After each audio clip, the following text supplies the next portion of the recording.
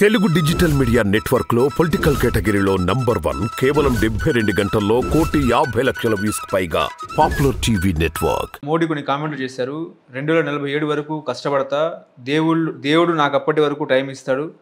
నన్ను ప్రత్యేక కార్యం మీద పంపాడు. అందరూ అమ్మకు పుట్టినట్టు నేను అట్లా కాదు. నేను దే నాకు దేవుడే నన్ను కిందకు పంపాడని చెప్పేసి మోడీ వ్యాఖ్యలు. మీరేమో వంద సంవత్సరాలు రాజకీయాలు ఉండొచ్చు.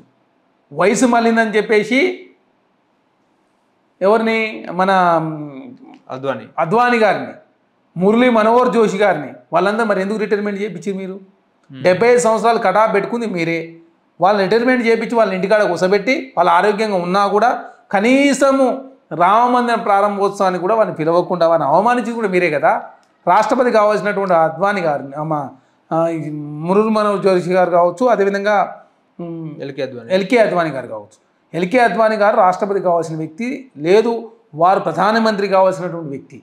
కానీ అట్లాంటి వ్యక్తిని డెబ్బై ఐదు సంవత్సరాల ఏజీ కటాఫ్ పేరు మీద వారిని రిటైర్మెంట్ చేపించి ఆ ప్లేస్లో వచ్చి మీరు కూర్చొని ఇప్పుడు మీరు వంద సంవత్సరాల కాలం పాటు రాజకీయం చేస్తుంటే అంటే మీరు ఇప్పుడు డెబ్బై ఐదు సంవత్సరాలు ఉన్నాయి. ఇప్పుడు డెబ్బై నాలుగు సంవత్సరాలు డెబ్బై ఐదు సంవత్సరాలు అడుగు పెడతా ఉన్నాడు. అంటే నెక్స్ట్ ఇంకా నల్ దాదాపు ఇంకా ముప్పై ఐదు సంవత్సరాల రాజకీయంలో ఉండే పరిస్థితిలో నరేంద్ర మోడీ గారు ఉన్నారంటే వంద సంవత్సరాల రాజకీయాలు చేయని ఆకాంక్షతో ఉండు. అదే కాకుండా మూడోసారి భారతీయ జనతా పార్టీ అధికారులకు వచ్చినట్లయితే శాశ్వత అధ్యక్షుడిగా ఉండాలని చెప్పేసి భారతీయ జనతా పార్టీ భావిస్తున్నట్టుగా చాలా స్పష్టంగా కనపడతా ఉంది. అంటే అధ్యక్ష తరహా రష్యాలో ఏదైతే పుతిన్ గారు ఏదైతే శాస్త్ర అధ్యక్షుడిగా ఉన్నాడో ఆ తరహాలో ఉండాలని చెప్పి ప్రభుత్వం భారతీయ జనతా పార్టీ భావిస్తుంది కాబట్టి ప్రతిసారి నాలుగు వందల సీట్లు కావాలా నాలుగు వందల సీట్లు కావాలని చెప్పేసి కోరుతా ఉందంటేనే భారతీయ జనతా పార్టీ నరేంద్ర మోడీ గారు భవిష్యత్తు మొత్తం జీవితకాలం అధ్యక్షుడిగా ఉండి ఈ రాజ్యాంగాన్ని మార్చాలా రిజర్వేషన్ తీసేయాలని చెప్పి భారతీయ జనతా పార్టీ అనుకుంటుంది కాబట్టి దాన్ని గ్రహించి తెలంగాణ రాష్ట్రంలో కాంగ్రెస్ పార్టీ అధ్యక్షుడు రేవంత్ రెడ్డి గారు చాలా స్పష్టంగా దేశంలో భారతీయ జనతా రిజర్వేషన్ తీసేసే ప్రయత్నం జరుగుతూ ఉంది. అదేవిధంగా ఎలికియన్లు ఉండవు భారతీయ జనతా పార్టీ గెలిస్తని చెప్పేసి చెప్పడంతో తెలంగాణ రాష్ట్రంలో కావచ్చు జాతీయ స్థాయిలో కావచ్చు భారతీయ జనతా పార్టీ ఆదరణ కరువు అవుతుంది కాబట్టి నరేంద్ర మోడీ గారు నన్ను ఏకంగా నేను దైవాంశ సంభూతునని చెప్పే ప్రయత్నం నరేంద్ర మోడీ గారు చేస్తూ ఉన్నారు. ఓకే. అంటే వికసిత్ భారత్ కళ నెరవేరుస్తా అని చెప్పేసి మోదీ వ్యాఖ్యలు. మీరు పది సంవత్సరాల కాలంలో అధికారంలో మీరు ఏం చేసిరు ఫస్ట్? పద్నాలుగు మంది ప్రధానులు అరవై మూడు లక్షల కోట్ల అప్పు చేస్తే మీరు వచ్చిన తర్వాత ఒక వంద అరవై ఐదు లక్షల కోట్ల అప్పు అయింది.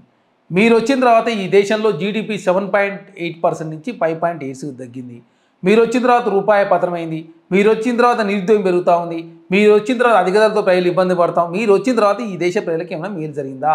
ఎంతసేపు రాష్ట్రాలకు రాష్ట్రాలకు పంచాయతీ పెట్టే ప్రయత్నం హిందువులకు ముస్లింలకు పెట్టి పంచాయతీ పెట్టే ప్రయత్నం ప్రాంతీయ పార్టీలు లేకుండా చేసే ప్రయత్నం ప్రభుత్వాలను కూర్చే ప్రయత్నం నరేంద్ర మోడీ గారు చేశారు కాబట్టి ఇక చాలు మీ సేవలు అని చెప్పి ప్రజలంతా ఒక నిర్ణయానికి వచ్చారు కాబట్టి భారతీయ జనతా పార్టీ సీట్లు తగ్గుతూ ఉన్నాయి కాబట్టి నరేంద్ర మోడీ గారు ఇట్లాంటి వ్యాఖ్యలు చేస్తూ ఉన్నారు.